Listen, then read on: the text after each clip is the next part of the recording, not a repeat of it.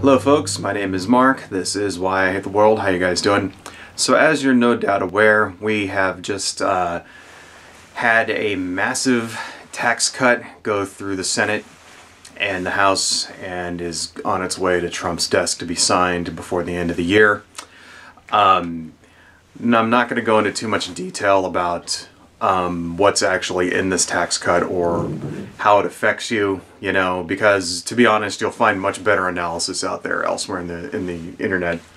You know, if you go to an actual news channel or something like that, and um, there's you know other people out there have explained it way better than I could. You know, um, suffice to say that there's a lot of ridiculous pork attached to this bill. Uh, things like um, drilling in the Arctic Wildlife Reserve, you know, that has no fucking business being in a tax bill.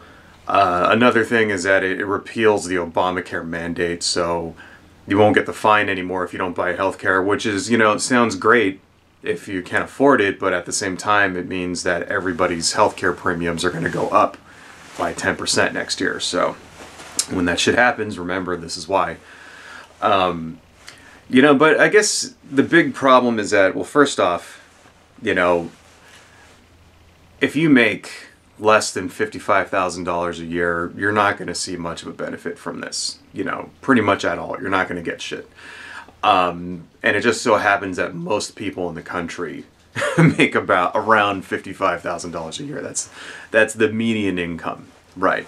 Most people in the country make that or less. I'm actually one of the lucky ones. I make, you know, more than that, right? I make, you know, I make enough that I'm actually going to see some benefit from this, at least until 2027, you know, when they repeal this, when, when they repeal the measures for the poor people. Which is funny because all the all the tax cuts and breaks for the rich people don't expire, you know. So for the poor people, they expire in just in time for Trump to not be president and to, and to blame a Democrat. But for, you know, the rich people and shit, all their tax cuts go on forever. I don't know how that shit works. And uh, that kind of brings me to the meat of what I want to talk about here. So, um, this is something I actually heard on Thom Hartmann's radio program. Uh, tax cuts like these historically uh, tend to lead to a bubble, and then that leads to an economic, you know, recession or a collapse, you know.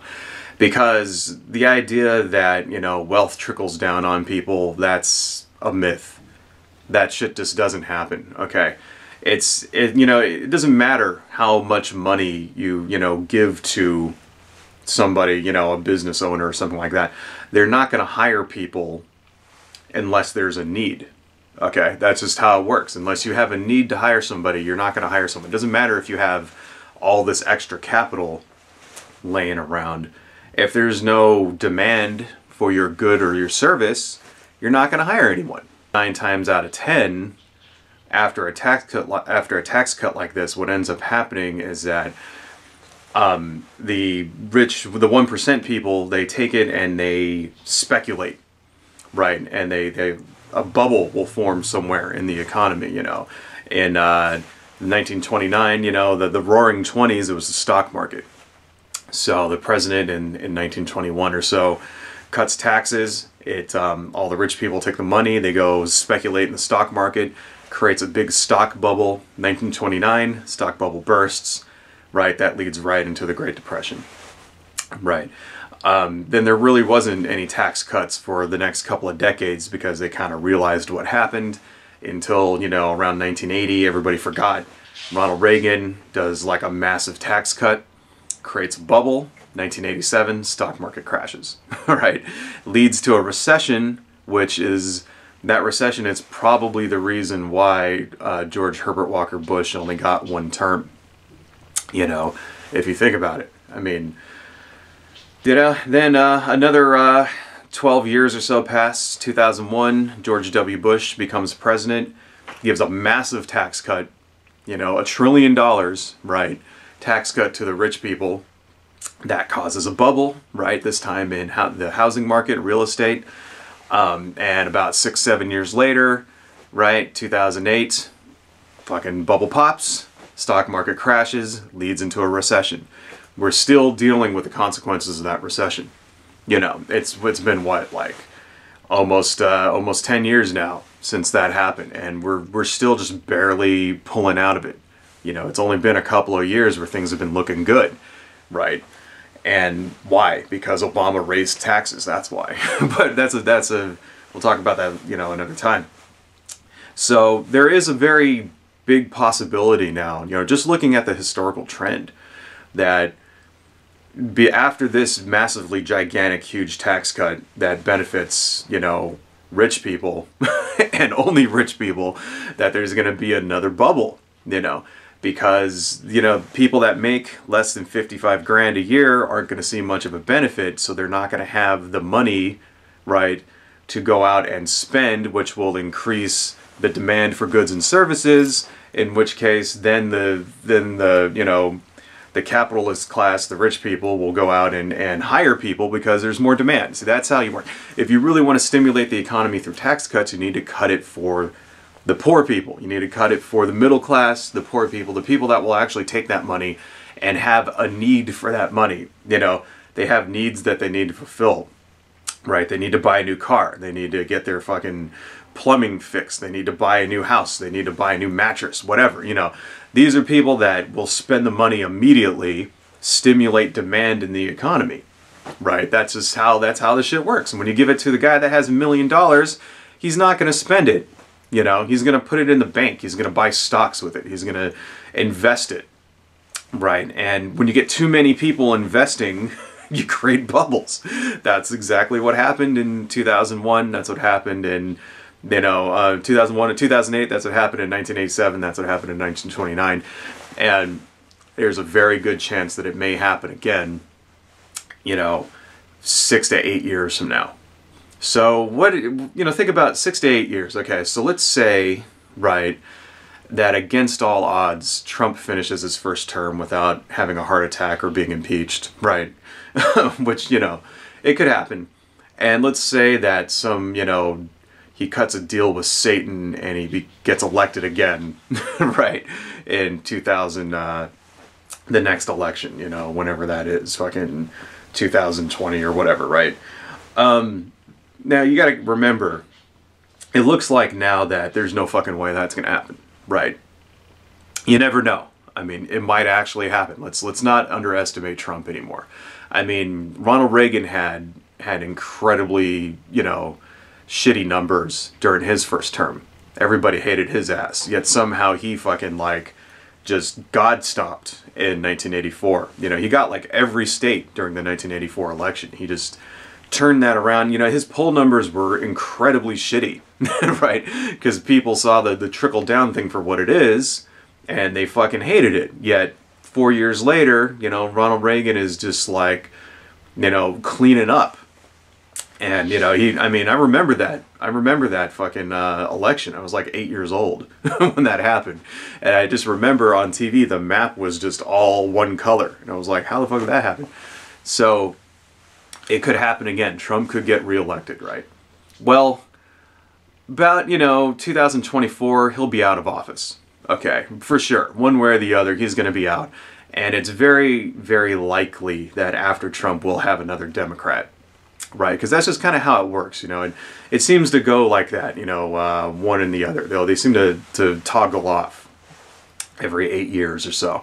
You know, it's it's not very common to have the same party elect another of their same party. You know, it's only happened a couple of times that. You know, and only once in recent memory, I think. You know, Herbert Walker came after Ronald Reagan. You know, hasn't happened again since, right? So it's very, very likely that we're going to have a Democrat in office when the shit hits the fan and the economy collapses. And mark my words, the Republicans Republicans are going to turn around and they're going to blame it on the Democratic president. Whoever it is, whether it's Bernie or Elizabeth Warren or you know, God forbid Hillary Clinton, hopefully she doesn't fucking run again, or just some other person that we don't know who's going to run. Whoever it is is going to get blamed for the crash that's going to result because of this tax cut. that's exactly what's going to happen right? I'm saying it now. so, you know, so so now what can you do about it? You know what? Nothing. There's nothing. You can't do anything about it. It's too late. You know, the only thing we could possibly do, right, between now and then is to vote in Democrats and raise taxes. That's really the only fucking thing. And pass regulation, you know, things like Glass-Steagall, that kind of that stuff, that kind of regulation to, to try to prevent, you know, speculative, uh, you know, um, investing by the banks in things like fucking credit default swaps and shit like that. That's the only thing that we can possibly do is is to try to try to pass laws to mitigate some of the damage, you know, and then maybe it won't be as bad. Maybe we might be able to stop it from happening. But good fucking luck with that, all right? It's that's not going to happen. Not while not not while the Republicans are in charge, all right? They're not going to pass shit. They're not going to regulate shit they seem to fucking like you know sperm their pants every time Trump cuts a fucking regulation out there, you know, whatever it is, right? So it's like, yeah, just just get you know what can we really do? Try to protect yourself. At this point, that's really it. Just remember, it's gonna come. It's gonna come probably in about six to eight years. So we're looking at uh, 2026, 2025, right around then. Shit's gonna hit the fan and you know what? Protect yourself. Save your money. Save your money, buy gold, buy Bitcoin. You know, I'm I'm trying to get to my hands on some Bitcoins. I know that right now Bitcoin is like fucking 17 grand per Bitcoin. So the ship has sailed a little bit on that, but who knows? You know, if the economy collapses, it could go up to 500 grand. You know, who knows? So if I have like 0.25% of a Bitcoin, I might actually have some decent money. okay, it's like fuck it. You know, I mean, it's there's not you know you don't have a lot of options here. So just try your best to fucking like hedge your bets. You know, um, save your money, prepare yourself, make sure your resume resume is good because there's a very good chance that during that time you might get laid off at whatever job you're at, you know, and uh, prepare for the worst. All right, and remember if it happens, you know, which is more like more like when it happens now. Just remember what caused it.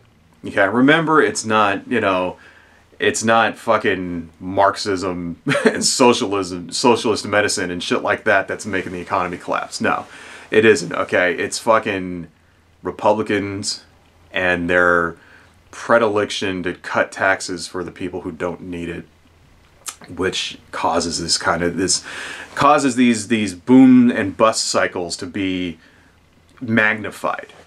Okay to bit to to that's that's what causes these collapses all right? Just just remember remember when it happens who actually fucking caused it okay?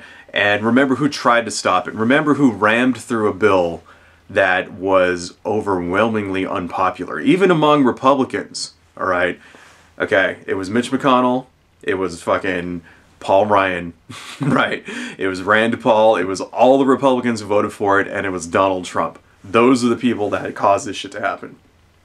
Adios, folks. Have a uh, Merry Christmas and a Merry New Year and whatever other bullshit holiday you celebrate here's to 2017 finally being over with. Let's hope 2018 is much better. See you folks.